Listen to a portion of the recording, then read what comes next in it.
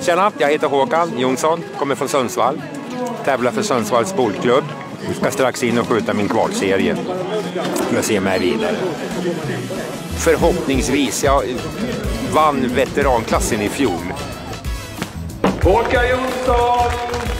Mina damer och herrar, vi har en svensk mästare i veteran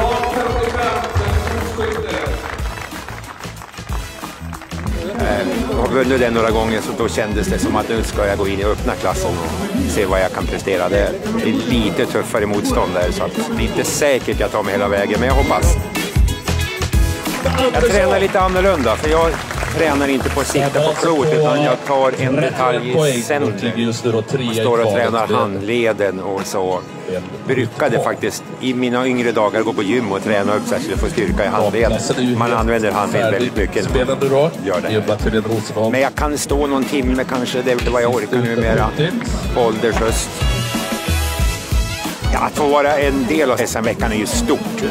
Eh, Det är så kul för oss som håller på med lite udda idrotter som sällan får tv-tid att få en chans att vara med och visa upp vad vi håller på med. Hittar vi Therese Berggren på 11 Det som är riktigt roligt är också när vi nu har gjort färdig vård så kommer jag ju gå runt och titta på andra idrotter. Jag såg hästarna här när de startade till exempel. Så just det här att det är så många olika idrotter samtidigt, det är det som är fantastiskt kul. Plus att man har chans att få lite tv-tid.